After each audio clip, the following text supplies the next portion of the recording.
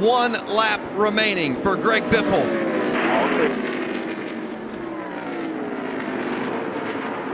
Looks like he's still under power off for turn two. It's been 6,434 days since Greg Biffle last won a truck race. It was in Phoenix in 2001. But on this one off, it is a night to remember. Greg Biffle wins at Texas. Great job, guys. Great job, man. Great job in the pits, guys. Great call. Really love you guys. That was a great job. awesome drive, buddy. Awesome freaking drive. Great fuel cells. Great everything. Woo! Yes! Good job, Jason. the thrill of victory. Hermie. Rudy, you, you've won a lot of big races with a lot of big drivers. This one's a little bit different. How special is it with Greg Biffle? Man, I don't even know. I haven't been this excited in a long time. That's uh, it's fun to win these things. I've won a lot of races, but never on fuel mileage ever. And I'm just praying to the fuel cell gods that we had enough fuel in the tank. And I bet he's going to blow it up here, uh, not out of fuel here in a second. So, wow, these guys are awesome. Toyota, Mobil One, TRD, uh, Kyle Busch Motorsports. This is great. Six wins. How, how, close were you on fuel as best you knew? Yeah, I mean, that, it should be all but out. Yeah. Well, it doesn't matter now. He's going to burn it down and go to victory lane. And by the way, collecting an additional $50,000.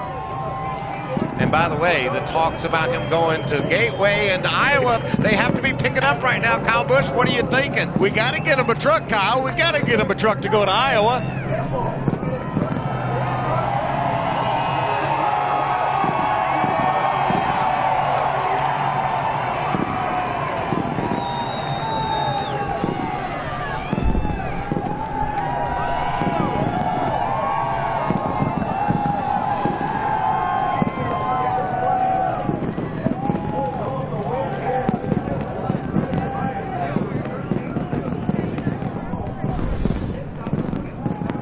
The unlikeliest of scenarios.